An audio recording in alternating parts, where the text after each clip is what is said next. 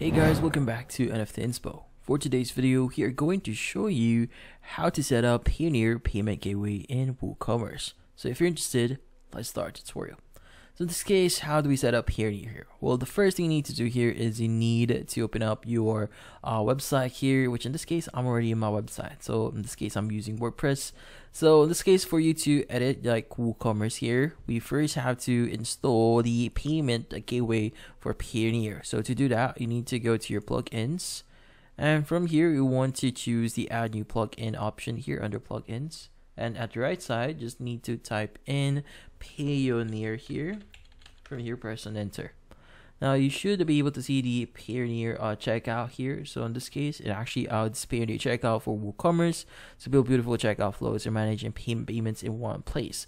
Now in this case, uh, let's go ahead and choose Payoneer checkout here. Click on install now. And what we need to do next is we need to activate this one. Just click on activate. And in this case, once it's actually activated, we are now ready to edit this.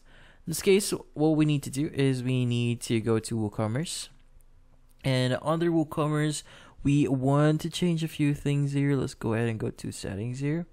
And under settings, under WooCommerce, you want to go to payments. And under payments, you need to look for Payoneer. So in this case, you have Payoneer checkout here. In this case, make sure to enable this one. And what is actually enabled, we need to do is you just need to click on finish setup.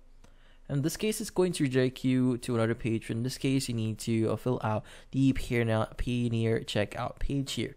That includes entering the API username here as well as the live store code as well and the live API token as well. And uh, if you want to test like orders first, you could choose or enter the test API token and test store code here. You could also add a title and description on it, and you could also select the payment flow here. In this case, you have hosted or embedded. Also have the payment widget appearance here if you want to change that, like for example, the custom CSS, Marin logo, uh, Express logo here, endpoints, general endpoints, and that's it.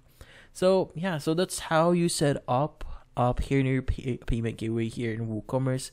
So if you want to get all the details uh, for uh, the following options here, like API username, live store code, and the live API token, you need to log in into your uh, account for Payoneer, and you should be able to access them. But in this case, that's about it. So hopefully this video was able to help you. Like and subscribe to NFT Inspo. Thank you for watching.